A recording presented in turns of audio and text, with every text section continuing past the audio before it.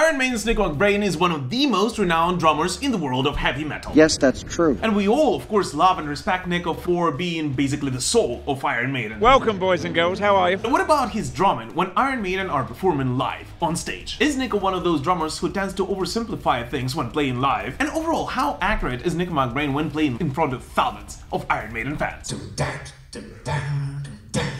Yeah, okay. So you know the drill. As always in this series, let's first of all take a look at some of the isolated drum parts for Nicko McBrain, see how accurate Nicko McBrain is when playing live in front of his devoted fans, and then discuss a little something about Nicko McBrain's drumming overall. Here you go.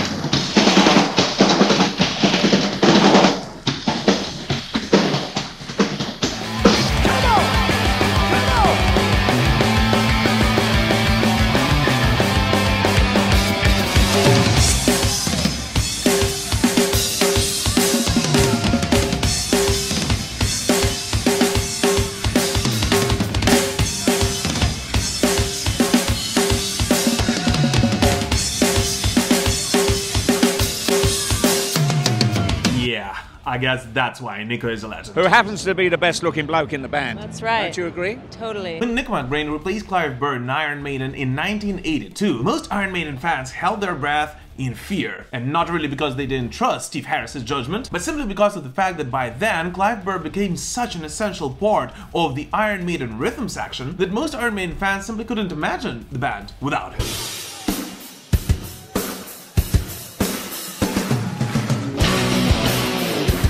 And so the band decided to give Nick McBrain a proper introduction to the Iron Maiden family and opened the legendary album Piece of Mind with an intro which dispelled most of the fans' doubts right away.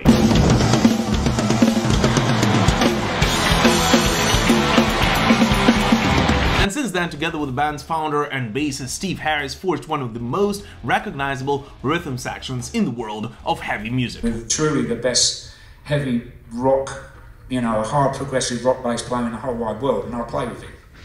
Absolutely. Who would agree with that? By the way, it is important to note that before joining Iron Maiden, Nick McBrain has played in multiple bands of absolutely various musical genres. You know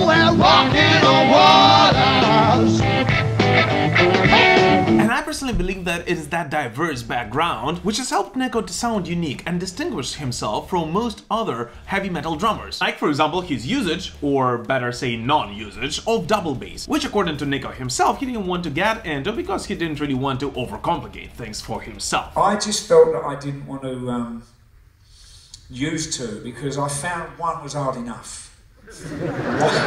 By the way, the only time Nicko McBrain actually incorporated a double bass setup was on the song Face in the Sand of the album Dance of Death.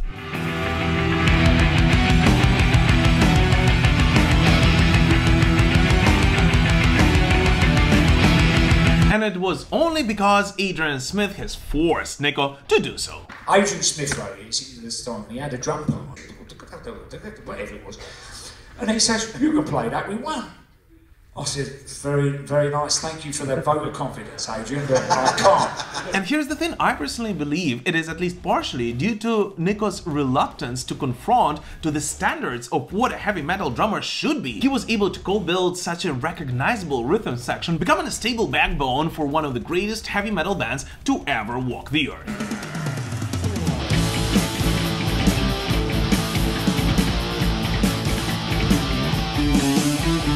By the way, it is also worth pointing out that since 2000, Nick McBrain apparently identifies himself as a hobbit and almost exclusively performs barefoot.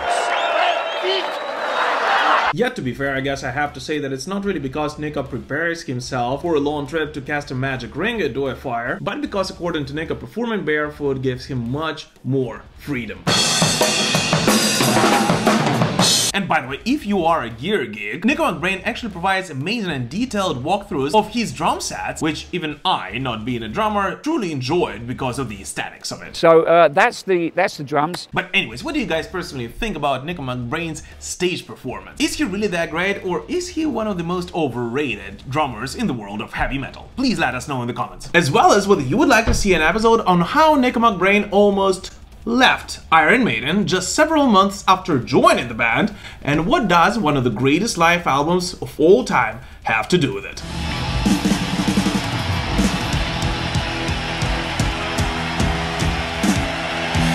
And also, please do not forget that the war in my country is still going on, so continue supporting Ukraine in any way you possibly can, including by purchasing Metal Pilgrim merch to rock at your next Iron Maiden show.